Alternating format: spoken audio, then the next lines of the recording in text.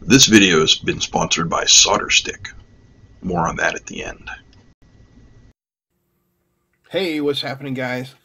Today, since this video is sponsored by Solderstick Wire Connectors, I thought we might talk a little bit about wire, the resistance of wire, and how we can measure it.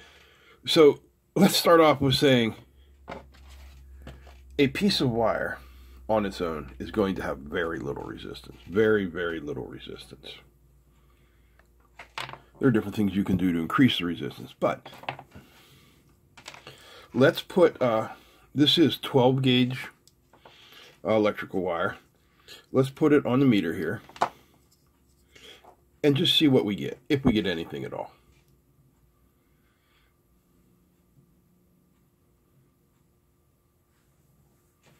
All right, so it's telling us it's around a half an ohm of resistance on a piece of 12 gauge wire, which is about 18 inches long. Okay. This is some, uh, I think this is 22 gauge, like 25 feet of it here. So let's clip onto this one. Let's see what it says.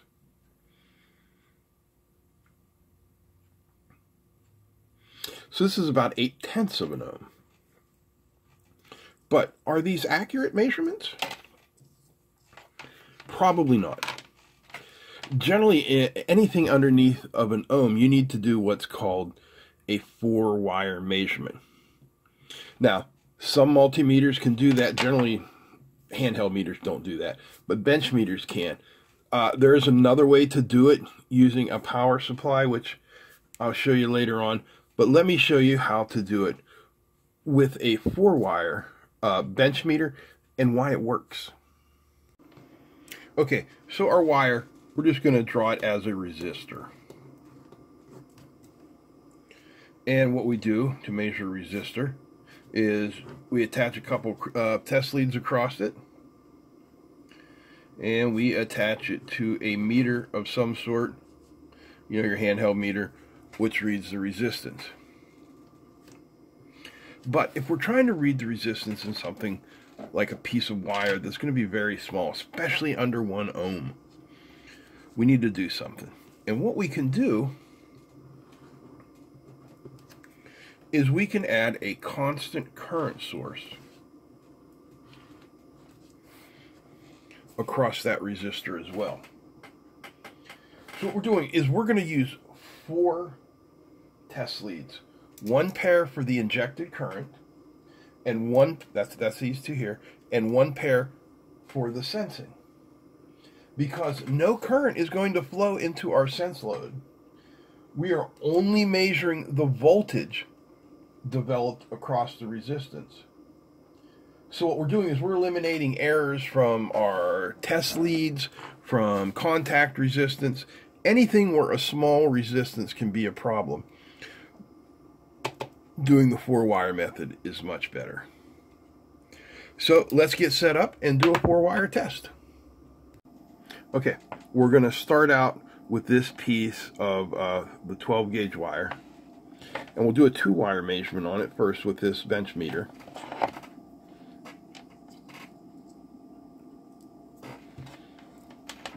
There's our leads.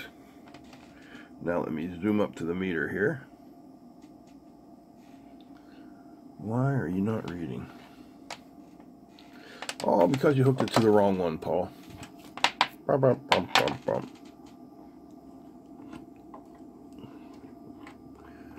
There we go.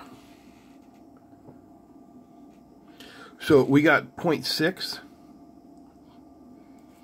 Now we're getting 0.052 just because this is a more accurate meter. But now what we're going to do is we are going to add in our sense terminal here. And if you watch, all I'm going to do, I'm going to move that down a little bit, is connect these in parallel. Black to black. Red to red. And we will now go into be four wire mode. And now you see the actual resistance minus the res uh, resistance that is in the test leads, contact resistance, and everything else. So, how important is that to you? Well, it depends on what you're doing. That's why I said th this is really only necessary in very low resistance measurements. But that can become a thing when, especially when you're talking about RF frequencies, which need very precise resistances to function. All right, let's hook up our coil wire next. So there's our, oops, come on, get on there. There is our voltage. That's this, this test lead pretty crappy. Maybe that'll work better. Just some uh, generic test leads. Man, don't really want to go on there. All right, let's try this. Boom. Oh boy. May have to switch that alligator clip on that one. Should be in a little uncooperative, if you know what I mean. All right, let's try it again. Oh, come on, get on there. One second. All right, everybody, nobody breathe or move. I managed to get everything to stay in place.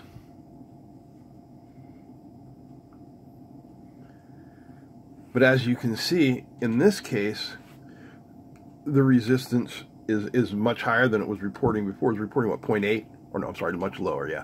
So it's 0.3. Four wire resistance measurements, like I said, are much more sensitive to contact resistance, um, resistance of the leads, and all those sorts of things. So let's measure our big wire one more time. That's the 12 gauge wire will connect black and red.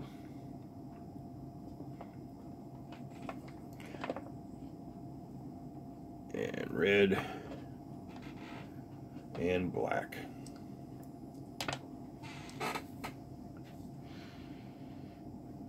And let's roll up to the meter, get our reading, 0.008. All right. Now I'll show you how you can make this type of reading if you don't have a four wire meter. All right, so you can see I got the power supply set for one volt at one amp. Now, whoop, let's come down here. Here is our test loop of wire connected. So when I energize the output of the power supply, we're going to get 1 volt, 1 amp through this wire. We're going to get a reading in here of the voltage drop.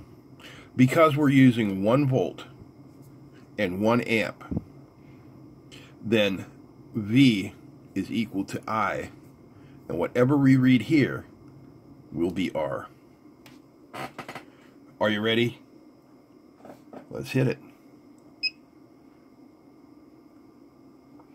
3.2 millivolts.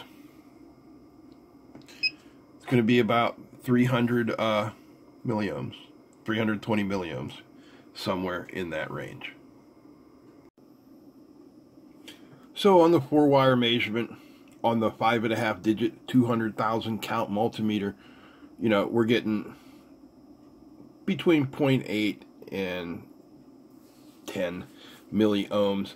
And I misspoke about uh, this one. I said 320 milliohms. It's 3.2. So whatever we are, we're much under the 0.8 that that thing originally showed us. And that just goes to prove the point that when you're measuring something with low resistance, the four wire method, also known as the Kelvin method, is the best way to do that job. Alright guys, I hope you enjoyed this video. If you did, please give me a thumbs up. Feel free to comment, share, and don't forget to subscribe. Big thanks to all the patrons. Big thanks to Solderstick for sponsoring this video. And a big thanks to you for watching it. That's it. I'm out. Peace.